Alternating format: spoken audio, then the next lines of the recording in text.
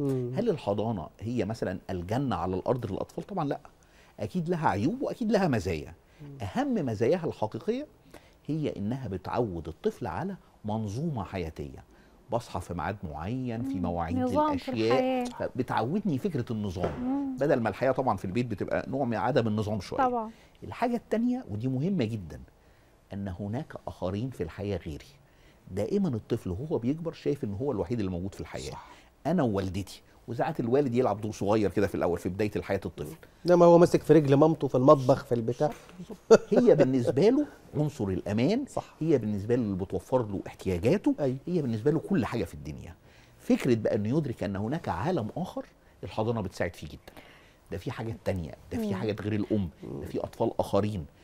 أنا عاوز حضرتك تتخيل معايا كده كمية المهارات الاجتماعية اللي بيتعلمها الطفل داخل الحضانة. طب أنا عايزه أعرف من حضرتك أنا إزاي أقول الحضانة دي اختيار كأم للحضانة يكون مثالي؟ يعني إيه المواصفات اللي يجب توفرها في الحضانة عشان أنا أبقى مطمنة إن ابني أو بنتي يروحوا فيها؟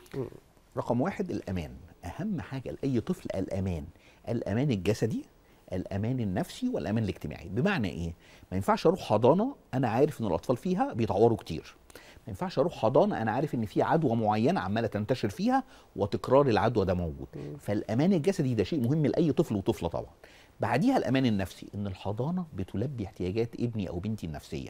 يعني إيه؟ لما بيعيط لا يعنفونه بيحتووه. لما يكون محتاج حاجة بيلبوها له. آخر حاجة ودي حاجة مهمة جدا أن الحضانة تكون مكان للاستمتاع وليس مكان للتعليم والقهر. لأن دي نقطة مهمة جدا. أنا ابتدينا نلاحظ في عياداتنا تركيز أهالي كثيرين إن إحنا بنروح الحضانة مش عشان اللي أنا بقوله ده لأ عشان يتعلم يقرأ عشان يتعلم يكتب ده لغات عشان كمان كذا لغة. يعني ده مش خطأ لغة واحدة. خطأ خطأ خطأ. في هذه المرحلة العمرية المبكرة الأطفال يجب أن يذهبوا إلى أماكن كي يستمتعوا.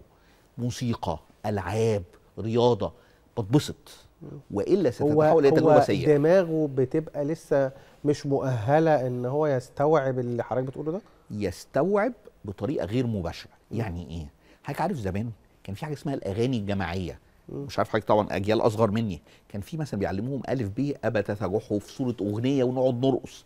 مش عارف بنتعلم ال ABC بطريقة معينة. بنتعلم السلم الموسيقي عن طريقه أغاني ورقص. هي دي التعليم الحقيقي الذي يحتاجه الطفل في سن مبكرة. وليس أن يمسك قلما ويبدأ في إيه؟ يكتب الحرف بالظبط ولكن يمسك القلم ويرسم. يمسك القلم ويلون.